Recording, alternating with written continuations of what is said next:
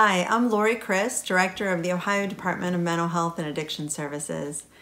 The things we're all feeling right now because of the coronavirus are normal.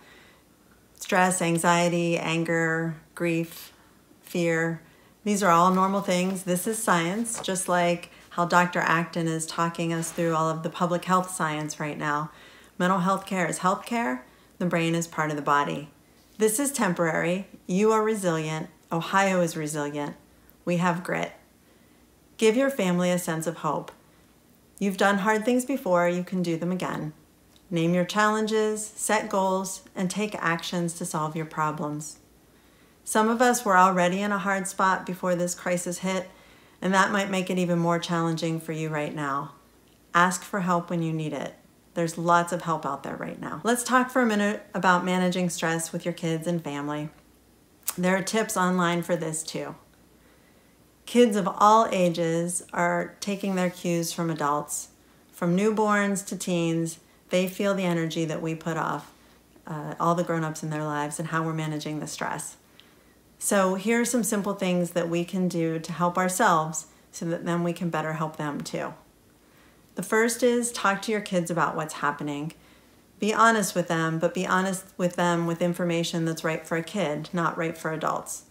And help them know that this event is entirely beyond their control. It's not their fault, but there are things that they can do to help within your home to keep your family safe and to keep the community safe. These would be things like washing their hands, making sure that they're following social distancing, physical distancing guidelines, and helping to keep the house clean as well.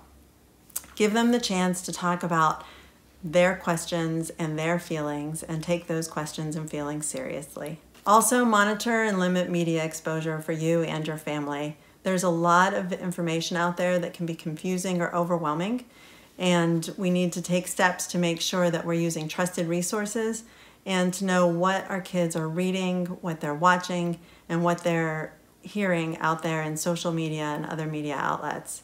Remember, the media is here 24 hours a day, seven days a week for our convenience, not for our consumption. And so step away and use a trusted resource when you do plug in and make sure your kids are doing the same thing. Most of us aren't used to being with our family members or our household 24 7. And this is hard, it's not always pretty. And so personal space is really important, and quiet time is too. Find a way to create that space, that time apart within our homes, both for adults and for kids. Another thing we can do is use our manners to keep our cool. Saying please and thank you makes it really hard to snap at each other in the same way we would without those manners. So it's harder to yell when saying, please clean up this mess, thank you. If I'm acting stressed out, I use a technique called HALT. So it's HALT. If I'm hungry, angry, lonely, or tired, I need to halt. I need to stop and take care of myself, and then I can go back to interacting with others and helping them too, or just being uh, in others' company. So try this at home. It works for both adults and kids. And then try to maintain a routine for your family, even though it's different from your normal routine and your normal schedule kids really do better when they have some structure around them, and most of us as adults do as well. So make every effort to do that. This can be a time for us to slow down and connect with each other at home and with our communities in new and different ways. Maybe we're going to work on a project that we haven't had time to work on, or we're going to spend more time with our family rather than uh, running around or being out in community more uh, like we normally are. These are good things, and remember, a smile and a kind word goes a long way inside and outside of the home. So be well, stay well, physically and mentally. Thanks.